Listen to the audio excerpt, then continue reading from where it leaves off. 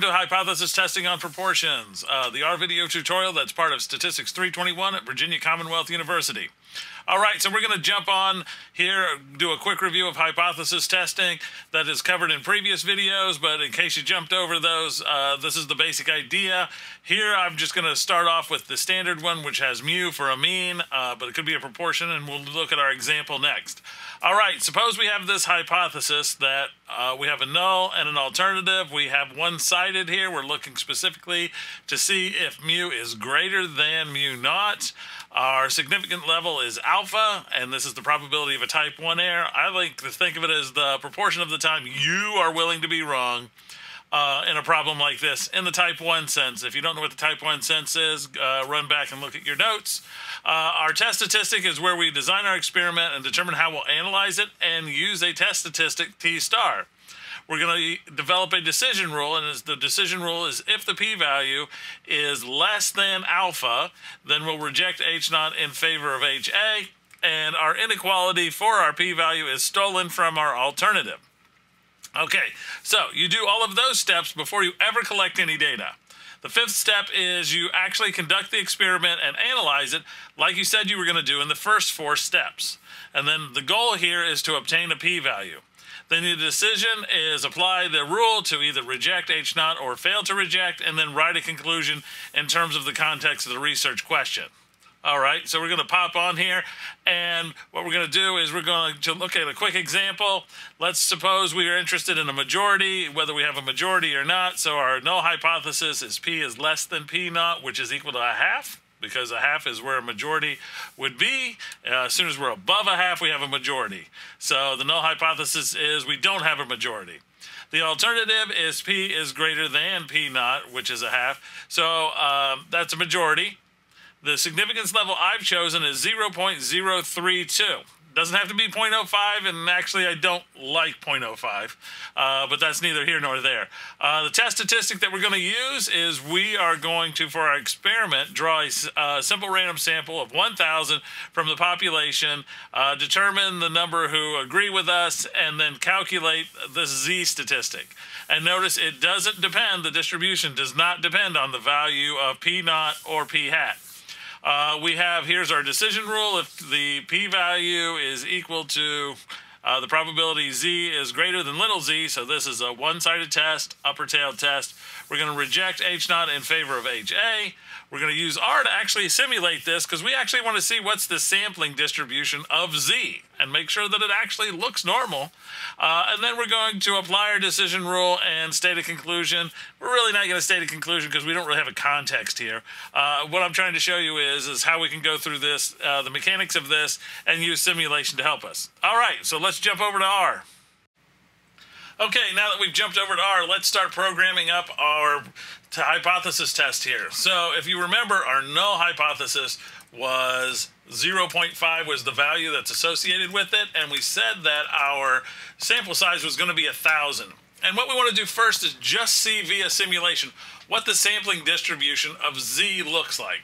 Uh, we say that it's approximately normal, but how normal is it? So, so let's do this first, uh, and then we can get a sense of how to work this to come up with a p-value via simulation, and then we'll use come up with a p-value using the function that already exists in R.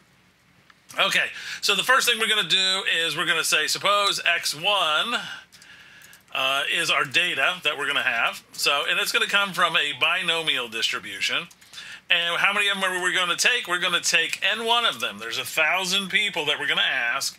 Ask them once, and we're going to they're going to have a probability of either way, like a coin flip of saying yes or no. That's what we're assuming uh, initially if we're trying to show that we would have a majority. So if I just run this, you can get a sense of what I'm looking at here.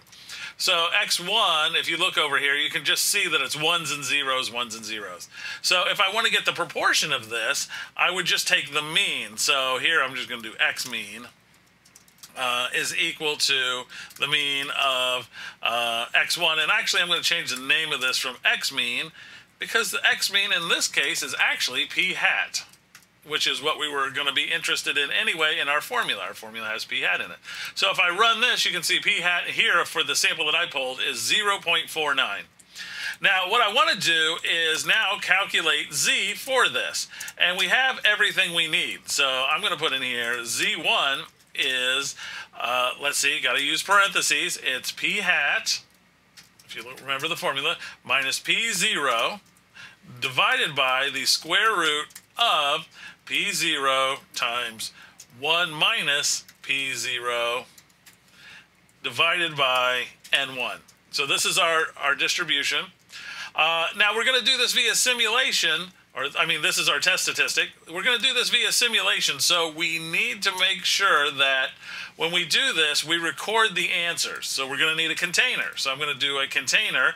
Uh, let's call this z out one, and it's going to be a container full of zeros. So we're going to repeat zero, and I'm going to do it, let's say, 10,000 times, because this is how long I'm going to run the simulation. Okay?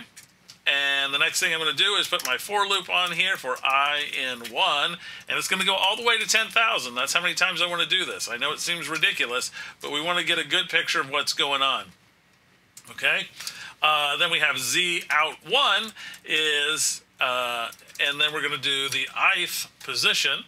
So we're going to store it in the ith position, Z1. So we can see what that's going to be. We're going to close off our curly brace to finalize our for loop. Now, if you don't do the curly brace, uh, things are going to go bad for you. Uh, then we're going to do hist, and we're going to do Z out 1, which should create a histogram for us. And then we're going to add one thing to this. We're going to do frequency uh, equals false and this will give us a different picture than we've had before. So when you watch the other video where we do these, uh, you'll notice this is a bit different. So the color here, I'm going to make it light blue. And let's see what we get when we run this 10,000 times. If I haven't made any mistakes, we can see what we'll get. And we run it, it takes a second, and notice this does look kind of like a normal distribution kind of like it. It's symmetric. It seems to be centered around zero. Remember, it's a normal zero one is what we're after. Uh, so let's actually lay a normal distribution on top of this thing to see what it looks like. And we can do that using uh, our density functions that already exist in R. So I'm going to do lines. I'm going to do uh, a sequence uh, from, let's say, uh, minus 6 to 6 I'm going to go by 0.01. Okay, and this is going to give me the sequence uh, for my x-axis, and I'm going to copy this because I want to actually plug this into my function dnorm, okay, which is going to give me the density. So I'm going to do dnorm, actually move it down here, dnorm is going to be our y. Uh, we're going to plug in these values, and the mean is 0, and the standard deviation is 1, and I'm going to put it in here, the color is going to be red. So if I run this now, I'm just going to run it all again, we can see what we obtain. And you can see that, sure enough, this sampling distribution of Z, so this is how Z varies uh, across all possible, well, not all possible, 10,000 possible samples of what we could actually see in real life, does seem to follow the normal distribution quite well. And that's uh, what R is going to base itself on. And most of the tests you've seen so far, you say, well, it's approximately normal. And here you can actually see that it's approximately normal. So what we're going to do now is try to get an, uh, a p-value based off simulation, and that's really, really easy here. So I'm going to do p-val 1 uh, all I have to do is take all of the values bigger than the one, the z value I see. So, so I need to actually see some data. This is what I would see if the null hypothesis is true.